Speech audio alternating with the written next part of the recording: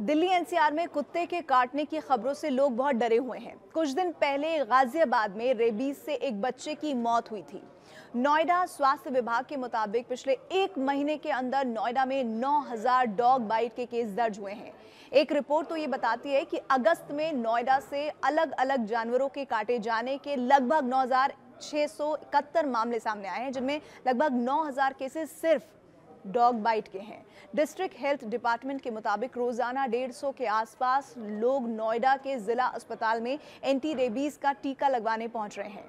हालाँकि नोएडा प्राधिकरण ने शहर के लिए नई डॉग पॉलिसी भी बना ली थी जिसमें 6,500 पालतू कुत्तों का रजिस्ट्रेशन हुआ और लगभग साढ़े सात हज़ार स्ट्रीट डॉग्स की नजबंदी हुई है।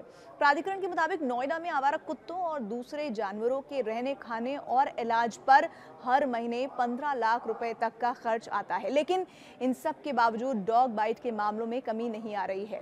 ऐसे में समाज के तौर पर हम दो काम कर सकते हैं। जो डॉग लवर हैं, वो अपने कुत्तों को जब बाहर ले जाएँ तो सावधानी बरतें कि उनका कुत्ता किसी के लिए परेशानी का सबब ना बने और स्ट्रीट डॉग से अपने बच्चों को बचाने के लिए बेहद सावधानी उन लोगों को बरतनी है, जिनके बच्चे छोटे हैं और अचानक से एक साथ झुंड बनाकर कुत्ते उनके बच्चों पर हमला कर देते हैं और कई मामलों में हमने देखा कि बच्चों की जान तक चली गई है।